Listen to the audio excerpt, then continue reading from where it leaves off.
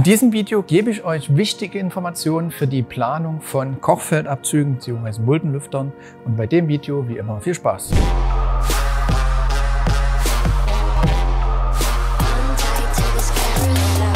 Herzliche Grüße von Gutsmann Küchen, denn Essen gut, alles gut und das kommt von Küche gut. Und wenn ihr gerade dabei seid, eine gute Küche zu planen und wollt in diese Küche einen Muldenlüfter, also ein Kochfeld mit integriertem Abzug, dann müsst ihr auf die ein oder anderen Dinge achten bzw.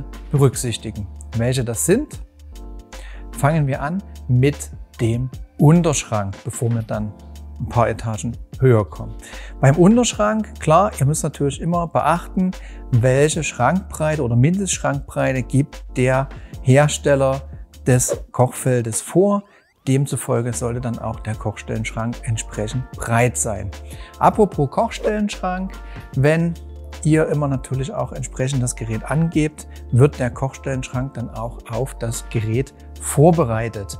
Denn, wie wir sehen, ihr an der Rückseite, ich an der Vorderseite, muss ja irgendwo die Lüftereinheit hin. Bei den meisten Geräten, beziehungsweise bei den Kompaktgeräten, wo der Lüfter direkt am Kochfeld integriert ist, braucht der natürlich im Schrank seinen Platz.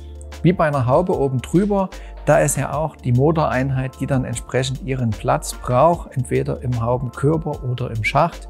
Hier natürlich dann das Ganze im Unterschrank. Also demzufolge bedeutet das, dass die obere Schubkastenblende in der Regel wegfällt, also dass da nur eine Blende, kein Schubkasten. Die Blende könnte natürlich dann auch noch benutzen, um eventuell Steckdosen einzubauen. Und ihr müsst natürlich auch beachten, wie soll die Luft denn geführt werden.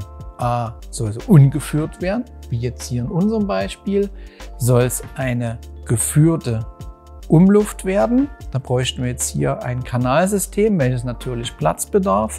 Oder soll es direkt eine Abluft werden? Auch da muss man ja auch wieder das ein oder andere beachten.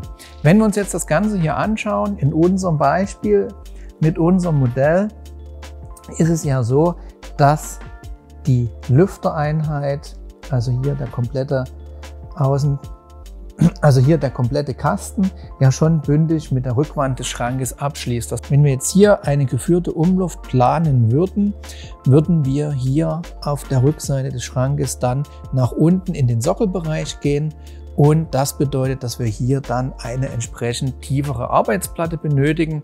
In dem Falle wäre das hier jetzt äh, 70 cm, denn wir haben ja jetzt hier schon 60 cm aufliegen. Bedeutet, dass hier, wenn es wandgebunden wäre, von der Wand weg muss. Bei einer Insel muss natürlich dann entsprechend Platz zum nächsten Schrank gelassen werden.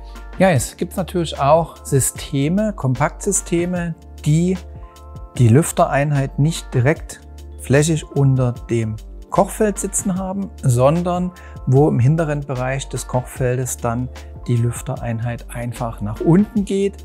In dem Fall habt ihr natürlich den Schubkasten wieder zur Verfügung, aber Schubkasten und alle Auszüge im Schrank werden dann in der Tiefe gekürzt, um halt den Platz zu schaffen für diese Systeme. Ja, fassen wir an dieser Stelle nochmal zusammen. Also zum einen brauchen wir einen entsprechend breiten Schrank, je nach System, was wir haben. Und wir brauchen dann in diesem Schrank und eventuell hinter diesem Schrank dann entsprechend den Platz, den wir für unser Wunschsystem benötigen. Das ist ja an sich eine, sag ich mal in Anführungsstrichen, logische Geschichte.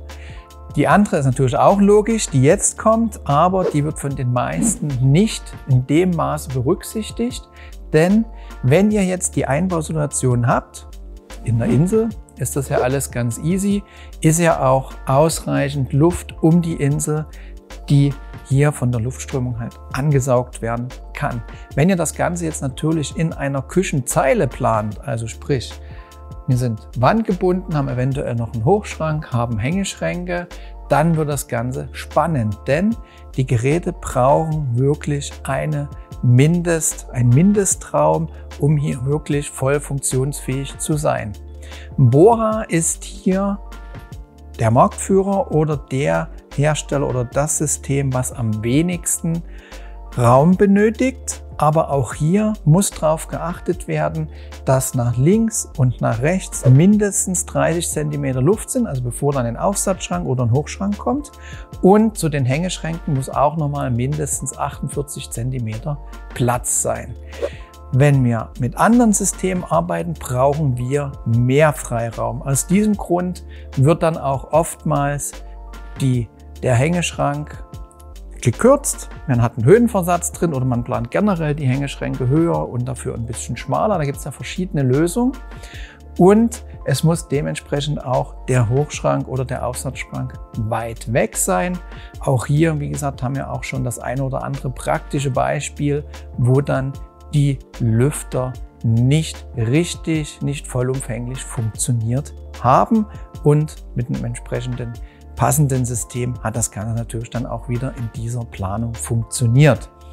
Ja, wenn wir jetzt natürlich die Hängeschränke oben drüber haben, haben wir ja auch in dem einen oder anderen Test gesehen, dass nicht der komplette Phrasen immer eingesaugt wird, sondern dass es halt Situationen gibt, wo der Phrasen auch nach oben aufsteigen kann. Und wenn da dann Hängeschränke sind, muss dafür gesorgt werden, dass diese Hängeschränke entsprechend geschützt werden oder ihr nach eurem Kochen oder wenn ihr intensiv kocht, während des Kochens die Hängeschränke dann einfach von der Feuchtigkeit befreit. Denn ja, die Stöße, die Fugen, die verleimt sind, der Leim, der ist wasserfest, aber halt eben nicht wasserdicht. Dort ist halt immer wichtig, die Staunässe zu vermeiden. Wenn da mal kurz Feuchtigkeit drankommt, passiert nichts, aber es darf halt eben keine Feuchtigkeit stehen. Aus dem Grund ist es wichtig, dass ihr euer Kochverhalten prüft überlegt, was wollen wir machen, wie sind wir am Kochfeld unterwegs und ist dann der Muldenlüfter in dem Falle das richtige System für uns oder ist eine Haube oben drüber für uns dann die bessere Lösung, weil wir zum Beispiel viel mit hohen Töpfen arbeiten, weil wir viel ohne Deckel arbeiten. Ne? Also das müsste halt für euch dann entsprechend sondieren und dann die Entscheidung treffen, denn nicht immer ist der Muldenlüfter an der Stelle die beste Entscheidung, sondern da macht dann eine Haube oben drüber deutlich mehr Sinn. Das nochmal abrund, abgerundet zu dem Thema Planungshinweise, denn das wird immer gerne unterschätzt. Der Raum, der Luftraum, der den entsprechenden Lüfter zur Verfügung stehen muss. Ja, euch an der Stelle viel Spaß bei eurer Kaufentscheidung und für weiter inspirierende Videos gerne die Links nutzen. Unseren Kanal könnt ihr kostenfrei abonnieren und dann sehen wir uns in einem der nächsten Videos immer mittwochs und sonntags, wenn es heißt Küche gut, alles gut. Ciao, tschüss, euer Robert.